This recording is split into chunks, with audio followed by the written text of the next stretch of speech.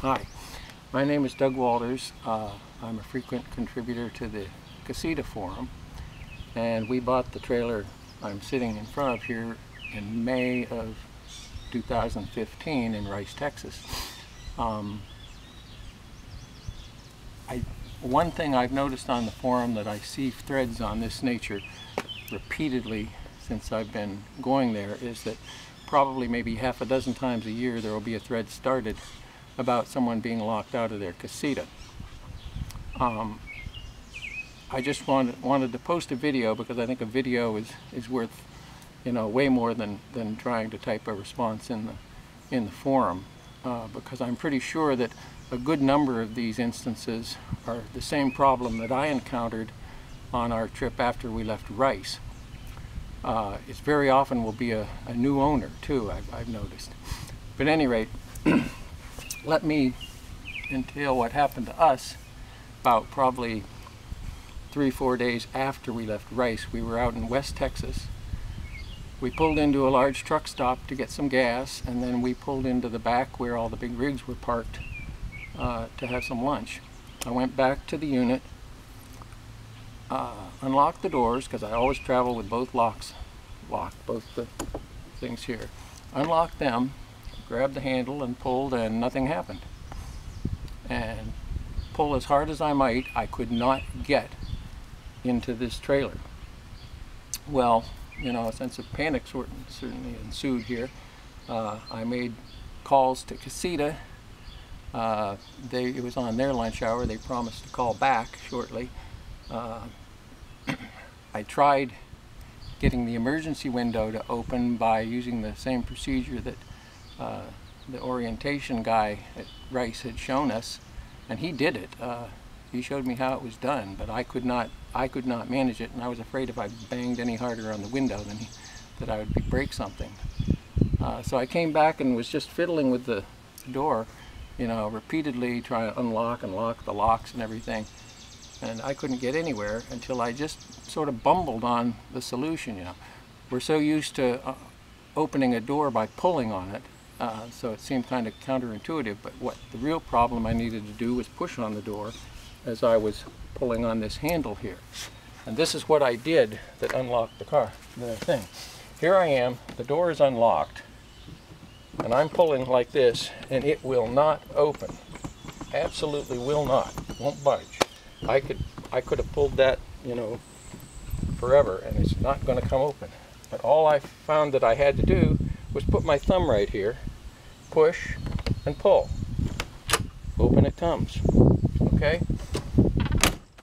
Well, I looked at the the uh, latch because I realized what's what the problem is is this is not moving and it's not moving because the latch bolt is being held by something you know it, it's being prevented from retracting the way it's supposed to well what's what's causing the problem is if you take your finger and feel on this little edge right here you'll feel a little lip this is the global lock set. There's if there's a little G right in here on the on the metal, that stands for global. That's who makes it. Uh, I don't know if global makes all the locks for casitas, but they certainly were making them for the 2015s. At any rate, there's this lip here, and this lip is just long enough to get caught on the latch plate that's on the door frame here. If you feel in here with your finger, you'll feel exactly where it's getting caught. So that engages that. Well, an easy solution to the problem would be just take a file or a grinder or something and remove that lip and make this as nice and smooth there as you can.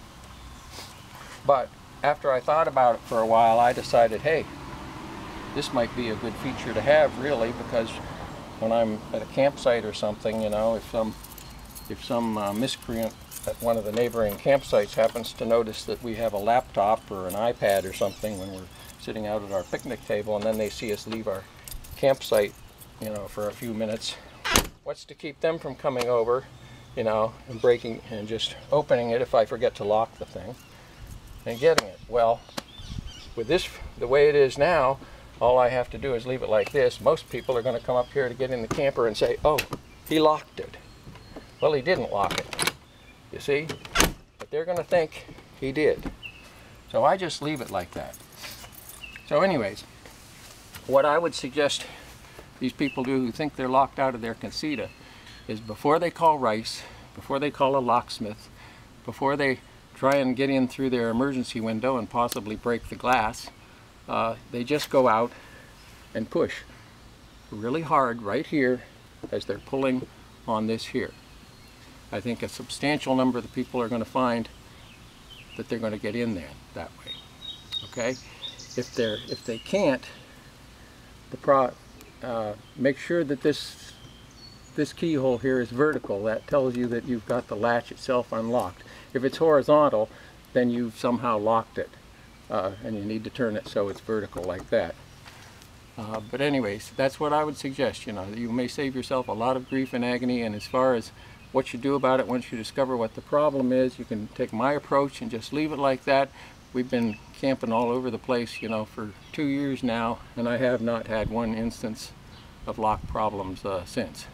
You don't need a new lock in this case. All you need is to modify the old one, because if you got another global, it might have that same darn lip on it.